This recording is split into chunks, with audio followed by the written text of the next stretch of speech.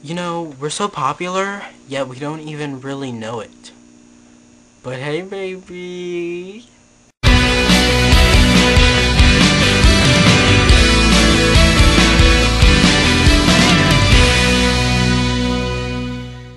First of all, I want to talk to you about, remember how I said in my last video that my class was going to watch Romeo and Juliet? Well, everybody in 9th grade is going to watch Romeo and Juliet, and we did yesterday. Okay, so it was a modern version with Leonardo DiCaprio. So it was a modern version, like instead of using swords and stuff, they used guns, and um, it was like in a modern kind of city kind of thing, and uh, but they still talked in Old English. Romeo, Romeo, where art thou, Romeo? Let me tell you, the first couple minutes of the movie were kinda weird, actually. But after a while, I actually got into it. So I'm like really into it right now. Like even though nobody really could understand what they were saying, because it was old English, of course, it was old English. We got the gist of it, you know. It's somebody falling in love with somebody, and then them dying, and all that.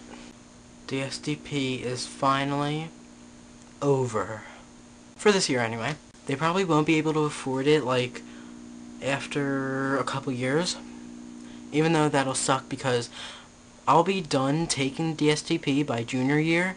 Like, because, I mean, in the beginning of the year, the juniors have to take the social studies and science anyway, but they don't have to take the one in March. So I'll be done by junior year. So next year will be my only last year that I have to take it.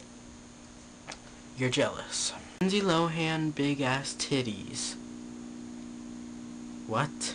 Oh, and hey to Katie on the internet because a minute ago you asked me to mention you in my video, so I am now.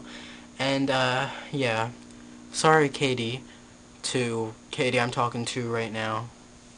I mean, Katie, Katie, I'm sorry, it's confusing, but yeah.